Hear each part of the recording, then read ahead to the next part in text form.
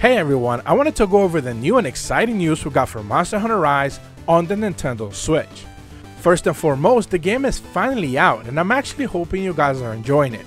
And to commemorate that, Capcom actually put out a launch trailer celebrating the release of the game. While nothing necessarily revelatory was shown during the basic trailer, showcasing many of the features we've already seen in the game already, the ending provided us with some brand new information that they had not revealed in the past, although for those of you who are aware of the leaks, this was probably known that it was actually coming. Capcom finally decided to confirm that Apex Rathalos is actually coming to the game as part of the version 2.0 free title update that's set to release by the end of April.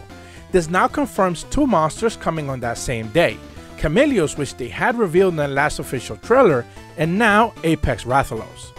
The interesting bit is that in the detail sheet they're still listing as several new monsters options still pending, potentially suggesting that even more monsters are set to be revealed for this late April update. While I won't sit here and speculate or actually rattle off names for the sake of Capcom not nuking this video, it's safe to say that there's a few more surprises in store for those who aren't aware of the leaks. It also suggests something entirely interesting regarding how they're actually handling these sets of updates. You could speculate that they're going to provide a normal hunt monster or two, an apex monster that you can then find specifically in the rampage, which we know is massive part of the endgame, and then perhaps something extra for the fans that they've definitely been clamoring for. The other interesting detail is that in the sheet they're now confirming that the subsequent update that is in fact being considered to be version 3.0, and it will include a brand new set of monsters and a brand new ending. As I discussed in the endgame video that I put out a few days ago breaking down just how it actually works, there has been some real discussion regarding the endgame situation and the absence of the real final boss. Not only are there some reviews extremely critical of it, but even players who are finding out about it are definitely skeptical of the move. As I said in the video, I can't really understand their logic behind their decision, other than it was simply not ready due to the delays that we're seeing due to the pandemic but it's hard to tell for now. And I'm sure that during the interview they will give us more details, but for now, it's kind of pointless to speculate about it. The last little bit that I'll actually mention is that Ryozo Tsujimoto and Yasunori Ichinose did appear in the quick video on the official Monster Hunter Twitter account, thanking the fans for purchasing the game and being grateful for the game finally actually being out.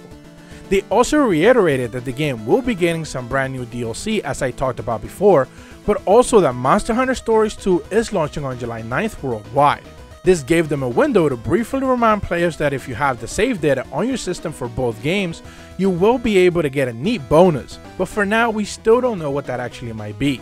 Layered armor seems to be the expected route, so it's most likely gonna be like that for both games.